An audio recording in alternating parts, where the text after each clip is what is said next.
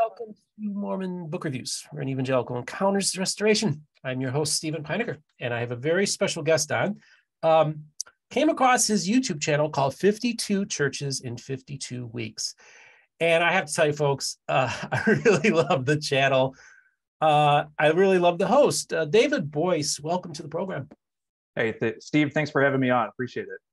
So, uh, one of the reasons I was interested in having David come onto the program is because he has this really fascinating project.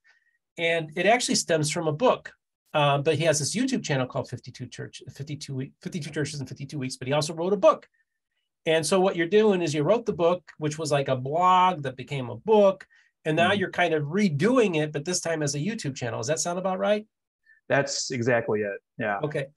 And it's so cool because you don't really go you go into it not really knowing anything about the church that you're visiting which is the exact opposite of me i know all about these churches. Because i'll read all about them and you're you're actually experiencing them for the first time.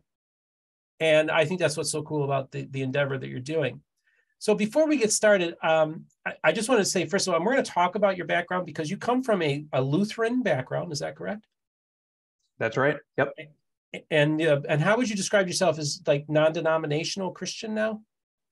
Uh, nowadays, like I kind of term myself as interdenominational. Okay. So, you know, with the non denominational, you kind of remove all the other denominations. Nowadays, it's kind of like I'm kind of welcoming of as many denominations as I can.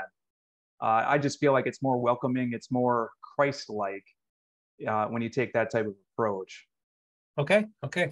Um, and that's that's the cool thing about um, what you're doing is you're not trying to proselytize you're actually trying to learn about these churches. Now, I find that so compelling. Uh, it kind of is in the same spirit of what my channel is all about. Now, before we start about talking about your YouTube channel, and I also want to talk about your your background as well. Let's just talk a little bit about what led you to write the book and ultimately also do the channel. Yeah. So, uh, well, basically, um, I, I, I had a, a faith crisis uh, like uh, I had grown up my entire life uh, from a Lutheran background, very conservative, very fundamental, and like like I believed in God, but like I just never felt God. And um, just with my personality, it's like you know I'm Mr. Loyal. Like I was trying to see everything through because like I thought that you know if I did everything right, if I you know didn't drink, if I didn't do drugs, if I didn't uh, have sex, if I didn't do anything that would be considered bad, sinful, like lo and behold, God would just bless me with everything I ever wanted. You know, the perfect wife, the perfect job, perfect everything. And that just never happened. And at one point, it's like after 30 years, I had been going to the same church. Like I just felt very spiritually dry. Like just things were not going the way that I thought that they would be. So, um, but uh, oh, sorry, my phone's going off. Yeah, no problem. Well, this is while you're adjusting your phone. I think it's important that yeah. we also talk about the church that you grew up in, which is, you know, there's many different branches of Lutheranism. Of course, I had Dr. Jordan Cooper on, who's a yeah t- conservative, you know, evangelical type, uh, you know uh, Lutheran Church, more you know literal and stuff. But you actually belong to a group that was called uh, was the was referred to shorthandedly as the Wisconsin Synod or the mm-hmm. uh, Wisconsin Evangelical uh, Lutheran um, Synod, yep. and uh, that's a very very conservative, like you said, very much a fundamentalist group that basically could be categorized as a high demand religion and and fancies itself as the one true church on earth. Yeah, yeah and like uh, I think I it's like like I grew up in it. I was born into it. Like I was baptized three weeks old, and uh, one thing that uh, I, I, just remember that just kept snowballing in my head was like I, I was an usher, and like I gave a bulletin to uh, an older gentleman came in with his wife, just dressed really nicely, and he got talking with uh, our pastor back then, and like I, I remember I just remember seeing this gentleman just pointing at the bulletin that I gave him, pointing at the back regarding our closed communion. And they kind of got into a quiet argument. And I, at the time, like you know i was just kind of like painting a, a, smile on my face you know everything's okay as i was handing out more bulletins to people coming in. And i just remember that gentleman took the hand of his wife and then they just walked out. And at the time and it's not very christ-like I, I just remember it's like well good riddance. Like if you don't agree with our church you know see you later and it took me a while to kind of realize wait a minute that is not how I should be responding to that. And over time, like I almost kind of had a little bit of a deconstruction going on in my head where that that just kept replaying in my head in terms of, you know, what what our fundamentalist beliefs were all about. And that kind of got the ball rolling in terms of um, you know, leaving that church, but then at the same time leaving that, like, where do you start over?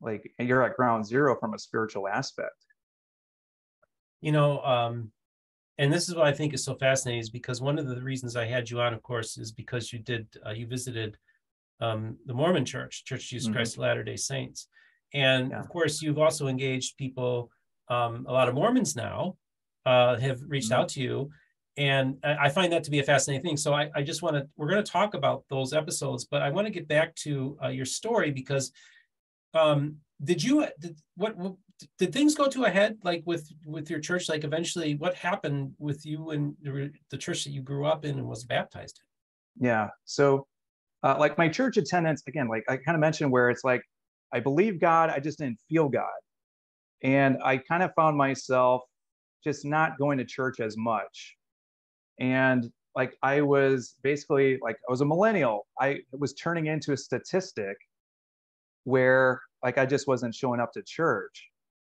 And um, you know, I was on like the only fellowship that I got, like I was on like uh, our church softball team at the time. And uh, like I, I made a big error in the game. And I remember I just, you know, slammed my glove down. Like usually like I'm water up a duck's back, not a whole lot gets to me. Uh, but I created a scene and uh, the pastor basically told me where it's like, yeah, if you, if you don't stop, if you stop going to church. If you don't come back to church, like you're off the team. And I just remember where it's just like, I don't think I can come back to this church after just how much that I've seen. And so I kind of, for a little while, I was kind of going on that spiritual but not religious path. And that just didn't really work for me. And like I was, I was improving when it came to physically, mentally, intellectually. But when it came to spiritually, I had nothing. And I just felt, I don't know if you want to call it God, I don't know what you want to call it, but I just had this whisper where it's like, do I want to leave the church? Do I want to leave God? Do I want to leave religion?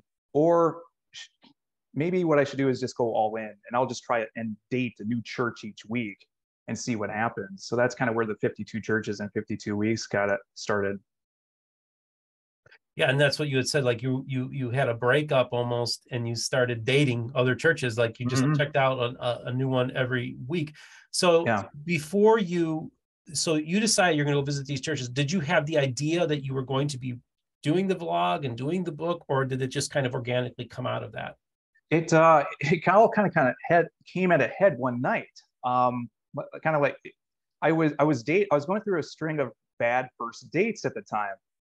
And it's uh like I, I was going out with christian women but they were like in different cities. They were from different denominations like catholic foursquare pentecostal. And it's like i didn't know anything about these other churches. And i remember i had one date and things were going really really well. But then all of a sudden we got talking about church and she loved her church but uh, for me it's like I was I was lying through my teeth. It's like, oh yeah, I love my church. It's fantastic. And it's like I hadn't been I hadn't gone for, you know, six, seven months. And I, at that point I was already done with it. So I was talking to my best friend at the time, and he was a complete opposite of me. He was very atheist. He was very um, different than who I was from a background standpoint, just complete opposites. And with my toddler weak faith at the time, where I would try and convert him and just be like, all you need to do is believe. And I just wave my magic jazz hands to kind of be like, you know, all you got to do is believe. You just have to just really try really hard. And that never worked. And he would kind of show me different type of atheists. Uh, Bill Maher, I remember, was one video that documentary that he had me watch. And we would just continually keep butting heads about it. And I told him about the 52 churches in 52 weeks idea. And he's like, yeah, I, I would be interested in that. I'd read that. So it's like, all right. So next morning, uh, and it, it was the same, I think it was like the same weekend that Mark Driscoll's Mars Hill mega church broke up. I knew nothing about at the time, but that's like the very next morning I went and just started. And it's just like, all right, we'll see what happens here. Oh, so you actually went to the Mars Hills Church right after? No, was... no, no. I just went to the, the closest church the next morning. Oh, okay. Just within walking distance. Got it. So, so what was the first church you visited? Uh, so I started off easy. Uh, so I went to an ELCA Lutheran church. All right.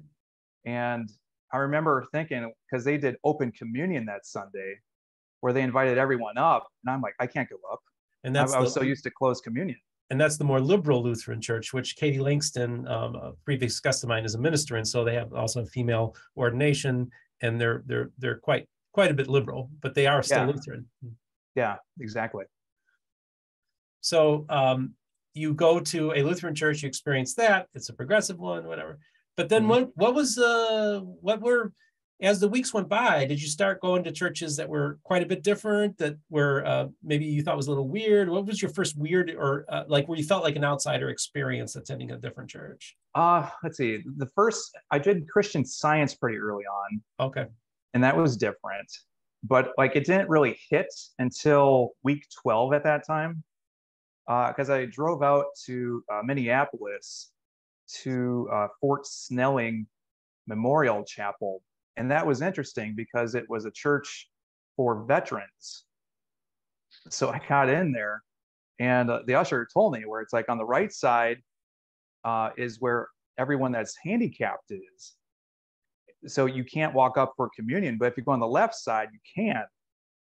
And it was fascinating because, uh, like, I drove there three hours, went to the church service. It was absolutely fantastic because of just all these these men that serve for the United States in the military, just so passionate about Christ.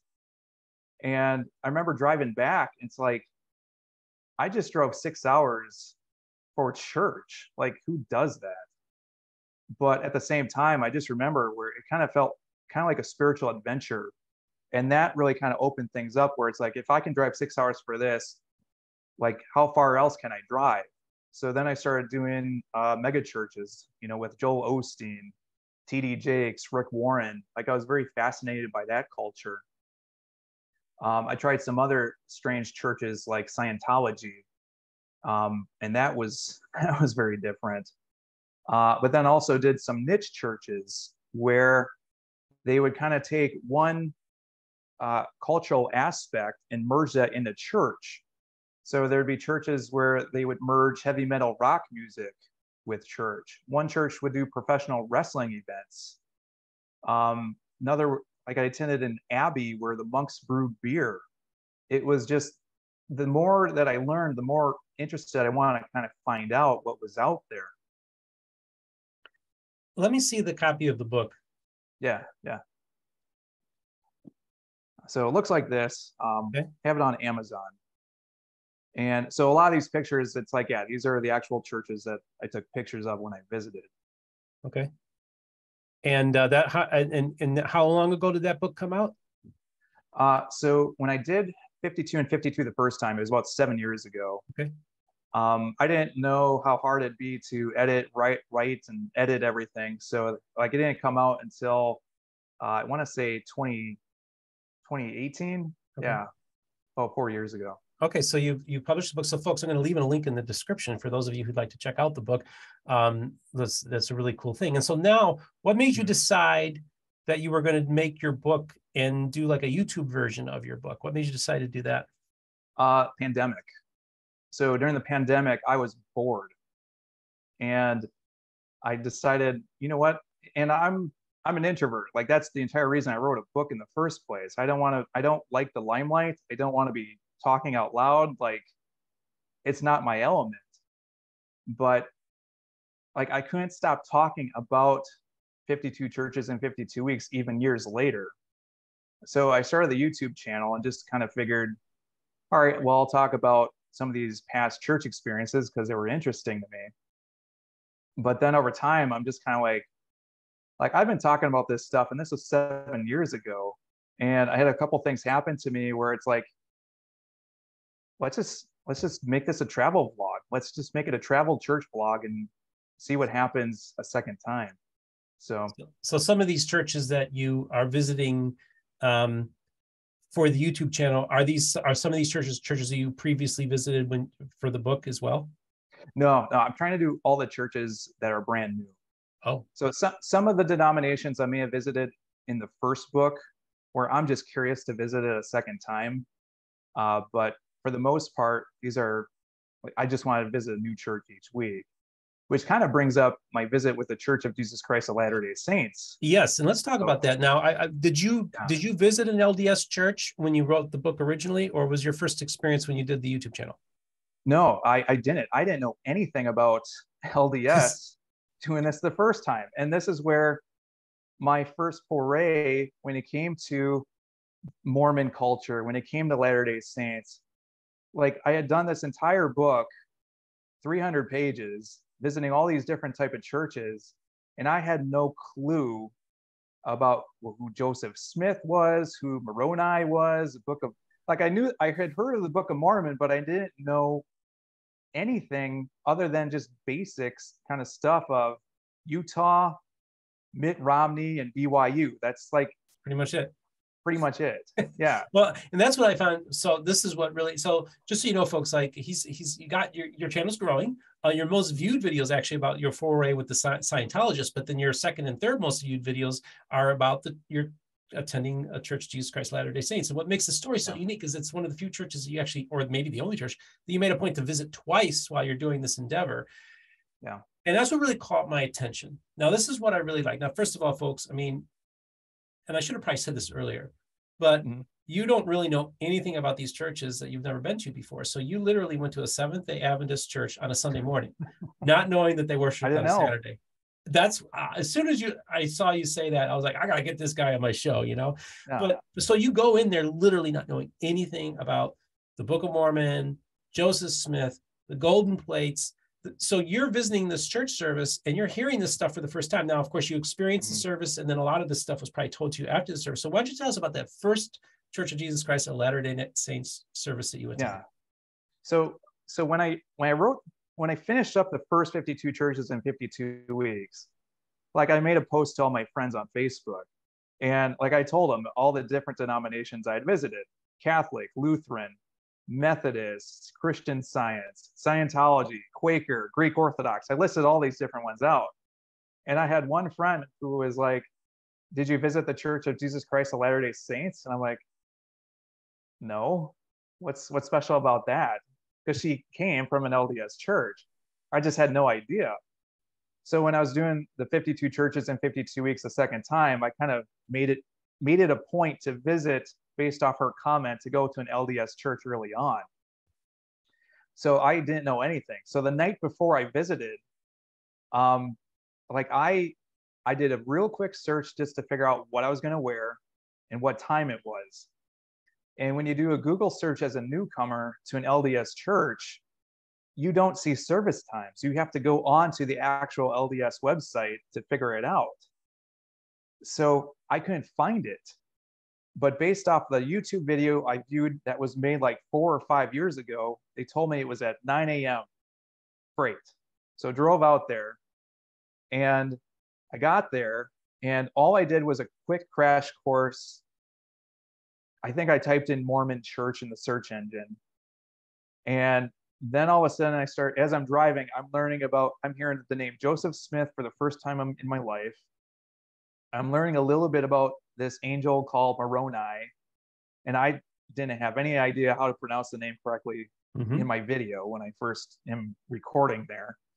Um, and it, golden plates and just all this different stuff, and I'm just like, what am I walking into here? I have no clue.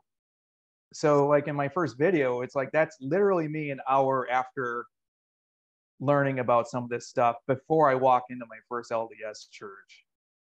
And looking back at it, now that I kind of know a little bit more about it, it's like, oh my goodness, like I was clueless. I like I'm because I don't know anything, like I keep saying Mormon church, Mormon mm-hmm. church, Mormon church. and as I'm talking to people in the church, it's like they're inviting me. It's like, oh yeah, this is my first time in a Mormon church.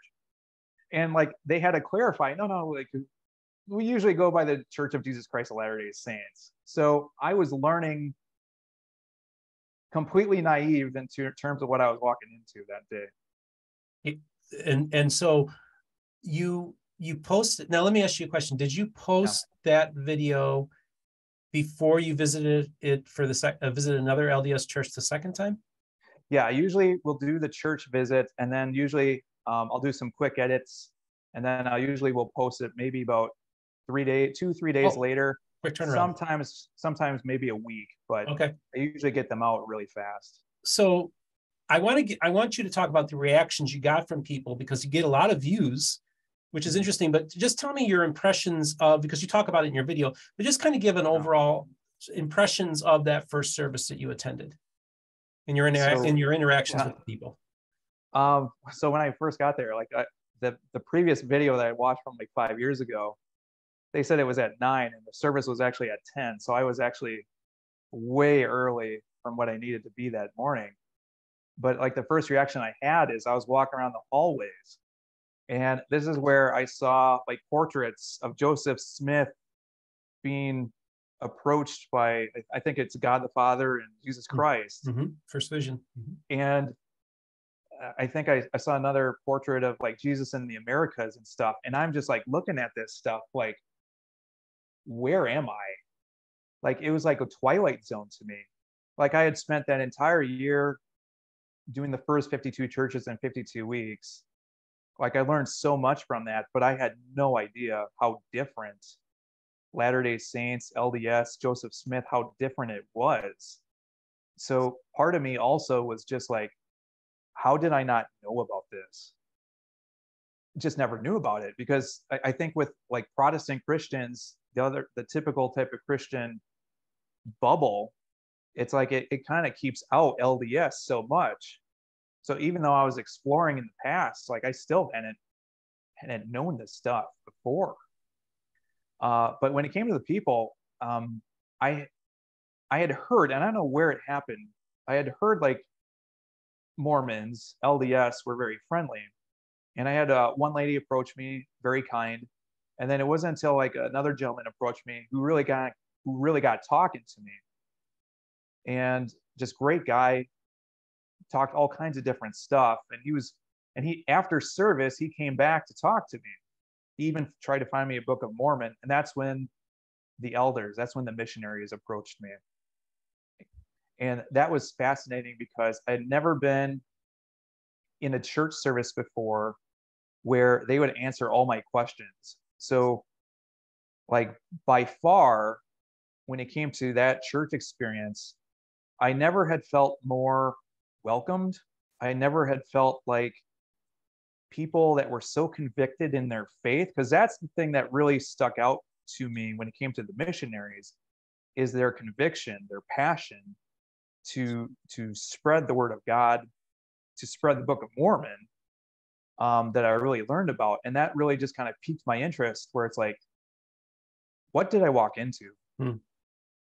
And what was it like when you're hearing? So, this is the thing you really haven't heard this origin story of the Church of Jesus Christ of Latter day Saints, originally called the Church, Church of Christ. And yeah. you didn't really know anything about the Book of Mormon. What was it like hearing that stuff for the first time? Um, it, information overload. Okay. I had so many questions but it, it's almost like you don't know what questions to ask huh. because there's just so much happening. Uh, like I, I remember one of my first questions is like, do you just call him Joe Smith? Like to me, Joseph Smith was the most generic sounding name possible. And I think I saw a picture or a portrait of him, and it's like, this guy is way too good looking in this portrait to be a church founder. Like I didn't understand that, you know. So um, I just, as a newcomer, like I had some really silly questions. but I didn't, they were so kind and open to me where it's like I felt like I could ask the silly questions or the dumb questions, being completely oblivious and new to LDS. So yeah, it was just it was a wild trip that day. so um so you post the video. Yeah. And what kind of responses do you get from people? So um it's been interesting. Um, I've never seen so much so much love, so much kindness from a church body before, um, especially when it comes to LDS. I also get another category where it's it's ex-Mormons, it's people that have left the church. And so I have several people on one side welcoming who are welcoming me in. They're they want me to read the Book of Mormon. They're giving me encouragement. They're giving me testimonies, just really, really encouraging, positive words. The other side is giving me warnings and you know run as far away as possible. It's coming from ex-Mormons that have been hurt in the past. So I'm in this kind of like tug of war from a social media aspect, and it's very strange. But at the same time like i can understand it for people that are being converted into the church because like i'm sure it's that way when it comes to families um, if people start talking about that too. So it's just a very it's a very unique situation. Hmm. and uh, what kind of comments were you getting that kind of surprised you or uh, made you think like oh i think i might have like like early you probably were thinking like oh this is getting a lot of views and getting a lot of comments. I'm, i think i'm onto something here. What what what was it that kind of did that for you? Yeah oh boy i don't think anything in particular with like one one comment or so. Um, but it, it's been fascinating just to see the amount of people reaching out not just through youtube but have actually reached out to me personally through facebook instagram social media type of accounts and I've been forming friendships through that, not just from LDS members, but also from ex Mormons as well. So it's, again, it's just very strange because, like, I'm walking into a world where I've had so much experience with all these other churches in the past, but then I come into LDS and it's just a completely different experience, not from like an like a setting or an atmosphere type of vibe to it, but just from an overall um, personality standpoint, from people that actually want to create relationship with you. That I'm not I'm not accustomed to that in the typical American church that you have nowadays because that's where the the follow up, especially with the missionaries, was just so so amazing to me. Like you don't get that with other type of churches. Yeah. And they hear that evangelicals, you've been to a ton of churches, over probably a hundred different churches. And you you experience something much more different than you experience from many, many Christian churches. What does that tell you? So um, one of the things when I did the first 52 and 52 um, that was so fascinating to me is like I would have, and I didn't do this intentionally, it just kind of happened, is I would have like almost like side projects so if I went to a church the first time, I would always leave my contact information just to kind of see what the follow up was like. So uh, again, when it comes to visiting a church for the first time, it, again, it's kind of like dating. Like at first, you have to, with a lot of these churches, like you, you create your website, you attract whoever is coming into your church, and then you have your date, you have your church service, and then you need to follow up so you can create a second date create that type of relationship. Because after all like as a church you're trying to help your congregants you're trying to help those people create a relationship with jesus christ. What i found when i left my contact information is a lot of churches and this is where i was shocked by is they would take it and then they would do nothing with it so it's like do you want me to come back I was shocked at the, and then uh, there were some other churches where they would take months to respond. so if you're if you go out on a date with somebody and they don't message you back until two months later are you going to go out on a second date Mm. like no so the ones that i was most impressed with when it came to the follow-up were usually the smaller churches where you get a handwritten letter from the pastor. Lot after the pandemic what i've noticed is a lot of churches they usually kind of leave it to the church secretary. Send you an email here's some programs to get set up if you want to join the church and that's about it. What was interesting with lds is the missionaries continually followed up and that was really refreshing just to see because i never got that from an evangelical church before. And the, the missionaries i spoke with it was in madison wisconsin. They passed me off to sisters uh, from where, where i live now. And they're continually following up with me. They're texting me. They're they're sharing gospel um, they're sharing scripture from the book of mormon with me. And um, it's been so and it's like I'm, I'm not going into this project to be converted. Like i feel like i'm very stern in my own faith and beliefs where i don't feel like i'm going to change. But at the same time like i want to be friendly i want to be open i want to under and especially with lds after my visits i want to understand more. I'm very curious to not judge to not be like simon peter and take a dagger out and splice off the ears of other type of churches and religions let me hear you out. Let me hear what you have to say.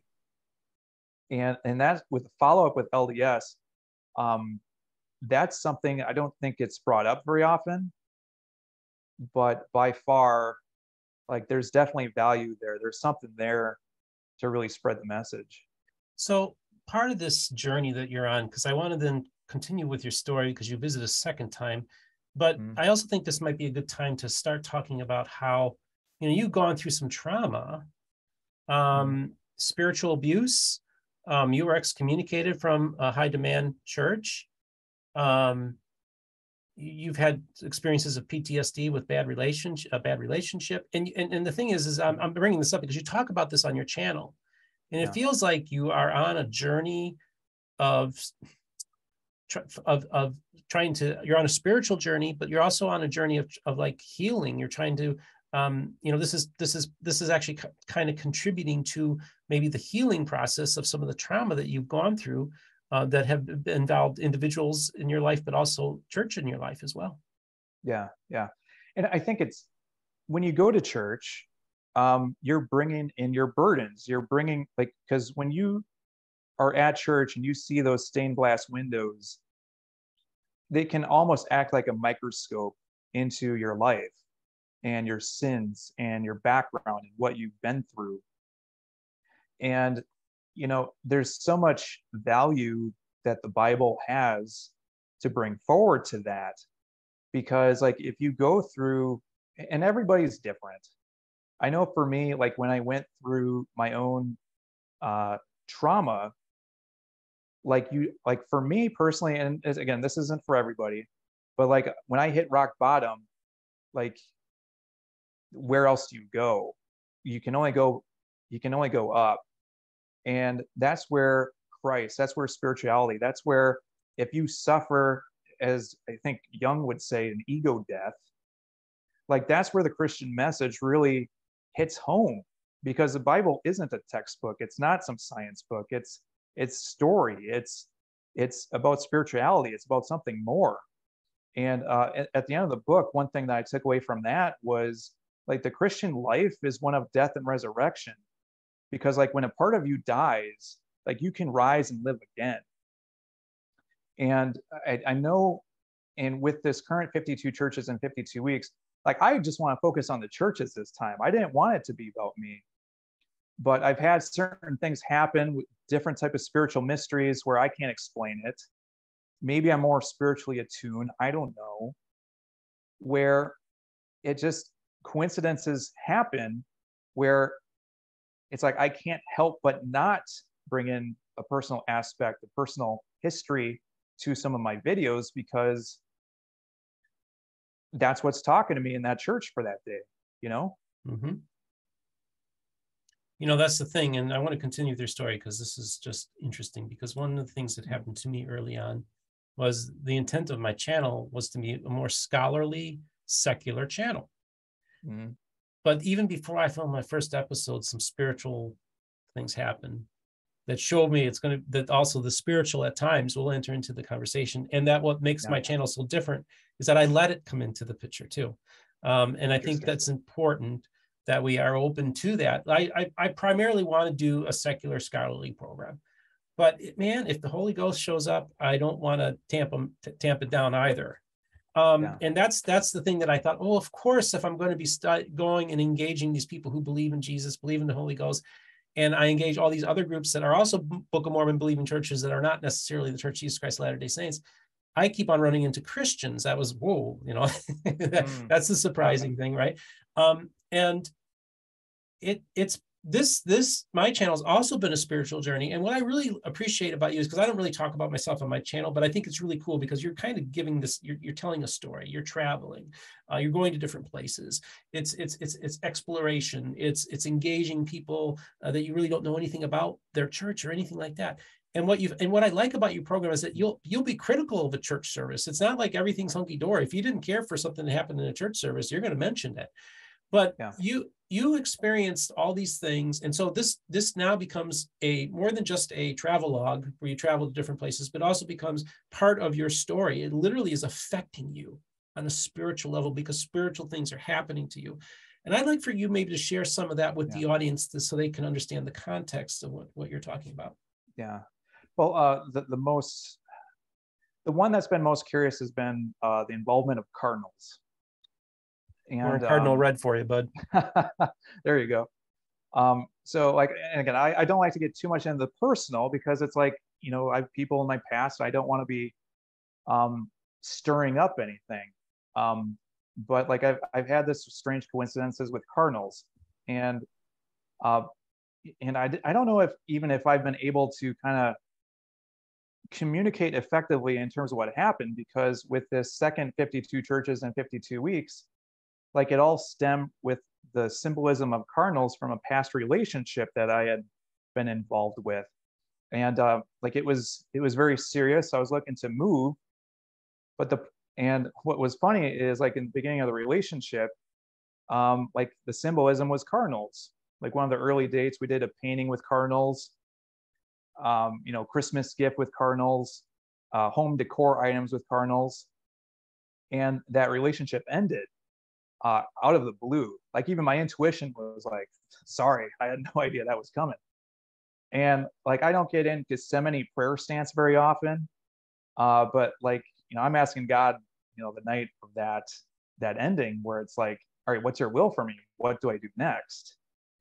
And um, the next morning, like I'm walking to my Jeep, and lo and behold, like a cardinal appeared on the branch above me, just random coincidence, but it was just so strange. And I took a picture of it just because the symbolism. Um, well, then, like a week later, um, the like with that past relationship, I was looking to move, but the the reason I couldn't move was because I had a tree that had fallen in my backyard out here um, in the middle of the winter, so I couldn't get rid of it during the winter, and I was trying to figure out how to get rid of it, and like the weekend before, like I was talking, like it wasn't even my tree, it was my other neighbors. And I'm talking with this neighbor, trying to figure it out, meet a new neighbor. We get talking about it. And she said that her husband, you know, hey, maybe, maybe you could get rid of it. It's like, this is a huge project. Like, you don't need to do that. But I still remember Monday, April 25th, like I get home from work, the Cardinals back in my backyard try and take some pictures. I get back in the backyard, the tree's gone. It's almost like I was starting over at square one. Hmm. So then Saturday, April 30th happened. I couldn't get to sleep. I'm like, what what to do now? Like I'm not moving. I don't have to worry about this big project with this tree in my backyard. I'll do 52 churches in 52 weeks again. Hmm. And um, so week nine, that's when I went to my first LDS church. and there were t- I had picked out two in Madison, and I went to one. I took some pictures. And I, I changed my mind. I never changed my mind where I visit the church, but that morning I did. So I decided to go to the other Madison LDS ward, and again, two Cardinals whistle by, and it just seemed, seemed so weird. So I've had I've had Cardinals kind of popping up now in my spiritual journey with this new 52 and 52. And even this past uh, weekend, um, I went to a Viking church, a stave church, and it was out in uh, in Island in Wisconsin. I, I like I just have to see this, and I'm going to post this video sometime this week. And I'm walking in there, and sure enough, a cardinal is just standing, almost waiting for me on one of the benches right in front of this church. And I'm just like, I don't know what else to do. Like, this is the coincidences just keep popping up. And like, I have, again, two camps from a comments section where it's like some people are like, yeah, this is a spiritual, spiritual messengers. Like, when you read the Bible, there's a lot of like even day five in Genesis is devoted to birds and sea creatures. You got Simon Peter with uh, the rooster crowing three times. You have Noah and the dove. You have John the Baptist and Jesus said in Jordan with the dove. Elijah and ravens. But then you have another side where it's like, nah, this is this isn't biblical. Like you're reading too much into this. Hmm. Like stop. Hmm. So as a viewer, I'm just kind of like, here's what I'm seeing. You decide. It's really weird to me. I don't know what it means maybe I'm looking too much into it, but it's just strange. That's interesting. And so, um, do do you uh, do you feel like that, that this there is something really truly to this whole cardinal thing? I mean, do you, is it gotten to the point now where it's just it's too obvious to you, or do you, or is there a part of you that's still a skeptic about it? I, I'm still skeptical about it because what what's the end game? What's the end point of it? I don't know uh, because like again like i drew i grew up in a very conservative fundamental type of church. Like the first time i ever went to like a pentecostal or assemblies of god church i'm just like what are you people doing? Like you need to be you need to be quiet. Like this is too much. Um so like i never believed in spiritual gifts. I never believed in you know raising your hands up for worship or anything like that. Um so then I start doing this. I keep seeing these coincidences. Like it just keeps happening to me.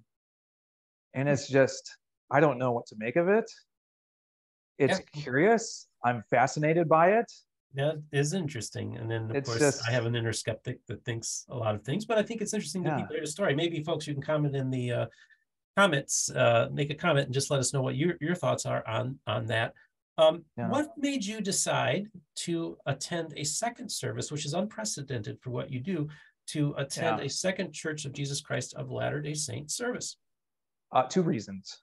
So, first off, um, the week before, um, I was recovering from illness and I wasn't sure if I had COVID or not. So, so it's like I don't want to put anyone in danger doing this because I'm going to so many different churches. So like you you can get sick easily. Um, so I had to do like a workaround and uh, decided to do um, this outdoor scenic walking trail that was sponsored by a church. I figured this would be close enough. And like it was a disaster. Like it it was like a bunch of flies, the most aggressive flies I'd ever been in my life. It was like going through an Egyptian plague just walking through there. And I had to get out of there and and like as I'm leaving, like I'm doing my YouTube videos, I have no idea what to talk about. Like, what am I going to talk about? I just had a bunch of flies in my face the entire time. And as I'm leaving, then another cardinal appeared, and I tried to get my camera out, and I couldn't get the visual. And all I remember is, okay, that's the fourth sighting. The third sighting was when I was going in between LDS wards in Madison. And I'm just like, all right, I'll check out another Church of Jesus Christ of Latter day Saints.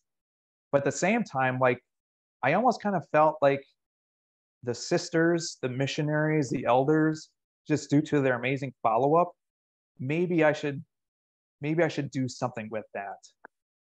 And decided, you know what, let's let's give it a shot. So went there again to a second LDS type of church service. Well, and this is the thing that really struck me because I, you know, I can say it's interesting because I grew up in a fairly conservative background as well, and but also charismatic. So we're open to the idea of mm-hmm. experiencing the gifts and all that kind of stuff. And yeah. um, you kind of had a spiritual experience attending the second service. Yeah. I, I, just want you to talk through that. I want you to explain to the audience what happened and how you're processing that. Yeah. So, like, when I was going, again, like, I'm having all these carnal coincidences, but the entire reason I didn't want to go to that LDS ward in the first place was because, um, like, uh, I had a Delilah from my past um, who had gone in a car accident just outside that ward. And um, I didn't want to revisit that because it's in the past. And it's like, I don't want to be bringing up that kind of stuff. And again, this is where the personal journey comes in. This is where the past meets the present. And um, I had a, like, with all the carnal coincidences, I was just kind of like, why am I back here? Like, I, I never want to be back in this parking lot again. And I, I had a feeling, and I was kind of telling myself in the video, it's like, nope, nothing's going to happen. Nothing's going to happen. But inside, I kind of knew something's going to happen. And I was very curious about what the talk was going to be. And uh, the member talked about uh, two missionaries in a hot air balloon. And in the video, I kind of mentioned okay, the hot air balloon is very symbolic in my past when it comes to my past trauma, when it comes to, I wouldn't say like I had a full out PTSD, but I had remnants of it. I had a very, I had some some aspects of it. And like the hot air balloon was symbolic to one of the most traumatic nights of my life. So it's like, how does that happen? Like the only reason that I came to that ward was because of these carnal coincidences, because of the follow up from missionaries. How does that happen? And I don't know what it means. I don't know why I need to revisit that. Maybe it's to help out other people when it comes to narcissistic abuse, when it comes to um, that kind of spiritual abuse at the same point. Um, so in that video with what's been happening with my own personal journey, it's like, all right, I'm just going to let it out. We'll see what God does with it. So that's a little bit about what happened for that visit.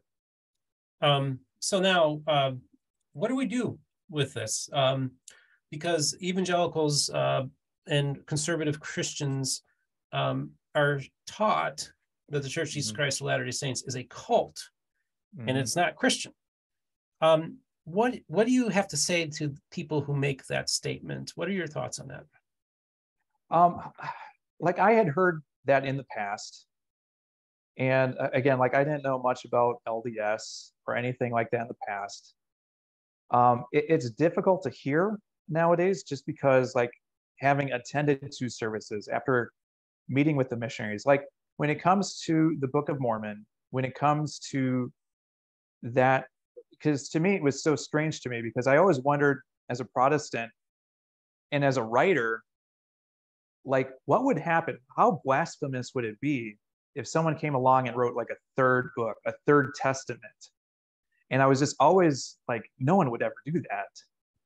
But then you hear, but then when I learned about Joseph Smith, the Restoration, the Book of Mormon, like it was like, holy moly, like someone actually has done this. And not only that, but there's just so much rich history behind it. So I'm meeting, I'm, I'm talking with missionaries, I'm talking with elders, I'm talking with sisters. I'm I'm face to face because when you look eye to eye to somebody, like it does something differently. Because in today's day, like everyone hides behind their their laptop, their phone. They can type whatever negative comments that they want it's so easy nowadays to just label and use one words like Nazi, rumor, racist, cult, and just throw those words out like crazy just to drive home a point. But like when I actually visited LDS, it changed it changed my perspective. So even though I may not agree theologically right now. I want to learn more just because I'm very curious about the whole story. And, and I think as we talked about uh, the other night, like LDS Mormons, like they made the desert bloom. Like they made it happen. How do you take state of Utah? How do you become all these pioneers? Like you see the fruits, you see the passion, and, and again, that's that's where I'm as a Protestant, as as a lifetime Protestant. It's it, it really has kind of opened my eyes and made me kind of reconsider. Okay, what's going on here? Because I didn't know anything walking in. How do we? How can we be allies? Mm. So interesting, interesting. Yeah, I uh, I think that you know I've learned a lot here too because you know I, I you and I have, have are on, on a similar journey. We we took two different opposite things. I came in at knowing everything, if you will, and not everything, but a lot. Yeah. And you yeah. came in not knowing hardly anything. And it's interesting that when you go in with an open heart and an open mind, and you're not there to proselytize, or you already you think you already have the answers and you're going to show them. Mm-hmm. Um, this is what other Christians don't get to see, because they're showing us they're they're letting their guard down because they feel comfortable talking to us because they can yeah. tell that we're not there to tear down or bash, make fun of, make light of, but to genuinely talk to these people and and, and hear their stories. And I'll tell you, folks, evangelicals out there, if you take that approach, um, I think you will be much more fruitful in having actual positive dialogue with members of a church that's different than your own. And this can go for other churches yeah. too, but especially the Church of Jesus Christ of Latter day Saints. Yeah. After the first 52 churches in 52 weeks, like I kind of aligned more on kind of more reformed theology. Oh, yeah, you know, that's right. Think, think of, you know, Tim Keller and Alistair Begg and uh, maybe even like John MacArthur, Charles Spurgeon kind of types. But as I as I engaged in that type of community, it was just so it was so easy. And I kind of used this analogy earlier, where everyone wants to be Simon Peter, take out the dagger, cut off the ear of the Roman soldier. It's like, how is a Roman soldier supposed to hear the word of God in the gospel if his ears are cut off? Like, let me listen to you. Let's have conversation. Let's have some dialogue um, I think that goes a lot further than uh, just you know putting up the defenses and just getting in some type of verbal argument. Yeah, amen to that, dude. I I, I agree with that entirely. You know, um, how many? What church number are you at now for the YouTube channel? So let's see. I just finished up week 22 this past weekend. So and that's the Viking Church. The Viking, well, the Stave Church because as I learned, and, and, this is again where it's so fascinating because like this, it's almost like speed dating. It's like you're learning so much about these churches where I don't really have a whole lot of time to dive into it. But at the same time, it's like it like I that's on purpose. Like I want to understand what it's like to a newcomer. So it, it's fascinating with these stave churches because it represents an interesting time in Scandinavia and Norway from a thousand years ago because they believed in Odin, Thor, Loki, all these pagan gods. But what changed for Scandinavia, what changed for Norway, was the use of missionaries. So the missionaries were, again, this is where I'm learning stuff. So the missionaries were able to get to Olaf the First, not Olaf from Frozen, but Olaf of Norway. And then they were able to convert also his his, I think his son Olaf the Second. So when you look at the symbolism and how everything is constructed, you can the stave churches are an interesting time period because you see Christianity overtaking and merging with that Norse type of culture. Hmm. So you have dragons acting as these grotesques outside the church to thwart off and scare off demons and dark spirits. Okay it's so interesting. And at the same time, like the churches are built like a fortress. Wow. Because you never know back in those days if you might be ransacked or pillaged or something. wow. It's so interesting. Well, this is so cool, the stuff you're doing. Now, I, I do want to make a couple of recommendations. Now, you may, yes, I don't know if you'll yes. be able to do it for this series, but um, I definitely think you should also check out the Community of Christ which is the second largest branch in the Restoration. I also think you should also check out the Church of Jesus Christ, also known as the Bickertonites. Uh, they're the I call them like the Pentecostal Mormons. Um, they're they're awesome. So I see if they have a Wisconsin um, uh, uh, congregation. I think they do have they have some congregations in the Midwest. I know they have yeah, one in I, South Bend. And I don't limit it to Wisconsin. If I can yeah. make a drive for a weekend, it's like I can visit some Midwest states. Yeah. Um, like I, I, drove out to Missouri last weekend, so yeah. Ohio the weekend before that. So yeah, yeah, I know uh, there's a there's a yeah. congregation in South Bend, Indiana, and I think there might be one in Chicago. So I, I but you can go to Church of Jesus Christ and uh, check the, them out. And the other group that I think you definitely need to check out is the Church of Jesus Christ of Latter Day Saints. but it does it's it's non hyphenated and it's a capital D and that is the uh, church. It's there. They have a congregation, I believe, in Burlington, Wisconsin. And it was founded by a prophet by the name of James Strang. And this is a book that was just given to me by the author. The latest book, "God Has Made Us a Kingdom," James Strang and the Midwest Mormons, and um, they have a congregation in uh, Wisconsin. And so uh, that's been the funnest part of this channel is engaging all the different branches of the restoration. And some of the smaller ones are the more some of the more fascinating ones. So yeah. I, I, would say maybe check out some of those churches too if you make your way out and about. I do I do have some plans. So yeah, I'm very curious. And it, it's strange because like I'm on week 22. This thing goes fast. Yeah. It's like I'm already halfway through coming up within the next month. So it, That's yeah, great. we'll see what happens. So you basically your your schedule allows you to basically travel every weekend and, and do this, huh? Uh, not really. Like, uh, I, I just do it each weekend. So I try and like a few weekends ago, like I drove out to Ohio and that like 10 hours straight driving, 10 hours back. Oh my. It's, it's tiring. Oh boy. Wow. What an interesting project that you're doing. I think it's so cool. And I love your videos. I love your channel. I've watched quite a few of your videos. Um, you've been to Mennonite churches, you've been to Seventh Day Adventists. Uh, of course, you went up, you finally got to one on a Saturday, um, and you've been to the two Church of Jesus Christ Latter Day Saints. I encourage you to continue this journey, my friend. Um, I want to thank you so much for coming onto the program today. And I was wondering if you had any final words you'd like to share with the audience, or anything that we didn't cover that you'd like to cover. Oh boy, well, uh, yeah, if you want to check out 52 churches in 52 weeks, I'm on I'm on YouTube. So hit like and subscribe if you want to check that out. Um, but yeah, when it comes to my channel, like I'm not trying to, uh, you know, force anything on anybody. It's just uh, part of it is just curiosity. Um, but at the same time, it's like, like I have to I have to bring in myself into it as well. So I'm trying as best as I can to to remove biases it happens for a human. Uh, but yeah, it's just fascinating just to kind of see what else is out there because uh, one thing, um, and we, we go back to ELCA with Lutheran pastor, um, one that I took away from the first 52 and 52 is Nadia Bolz Weber. And uh, she, she's very, um, she's just tons of tattoos. And on her forearm is a tattoo of Mary Magdalene. And the way that she explained her was she she terms her as a patroness saint of just showing up. Because when you look in the scripture, when you look in the gospels, it's Mary Magdalene who just keeps showing up.